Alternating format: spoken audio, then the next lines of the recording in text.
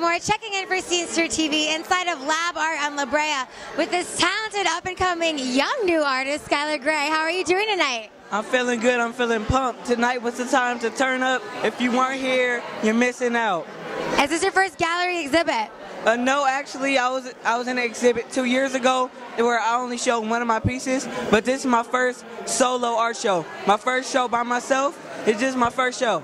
How many pieces do you have tonight? I have about 20 to 22 pieces. Wow, and how did you get discovered? How did I get discovered? How did I get discovered? Well, let me have let me tell you my backstory. Well, when I was younger, I've been drawing all my life. All my life, when I was two years old, my mother had passed away, Oh, and I've been. I've been going to therapy, and since since I've been going to therapy, I have I've been drawing a lot, a lot. My dad started noticing that I, I knew how to draw. He was wondering how I drew this stuff, and then we figured out about street art. We started coming to all the art exhibits, starting to meet all of the new artists, Uh-huh. and they told me that I could draw really good, and I'll get inspired by all the paintings.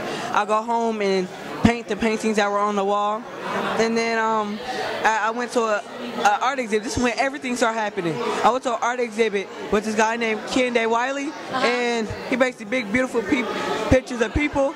And um, since then, I said, Dad, I really want to become an artist. You have to make this happen. Since then, my dad made this happen. So my dad discovered me. Wow, I love that. And your mom's watching from above, proud, proud as can be. Yes, she sure is.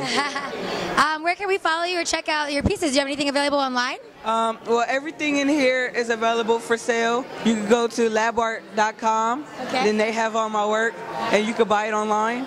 And also, you can check me out at Facebook at Skyler Grey Street Art, Instagram Skyler Grey Street Art, and also Twitter Skyler Grey Street Art. Awesome. Thank you so much. Congratulations. You're welcome. Thank, you for watching Scenester.tv.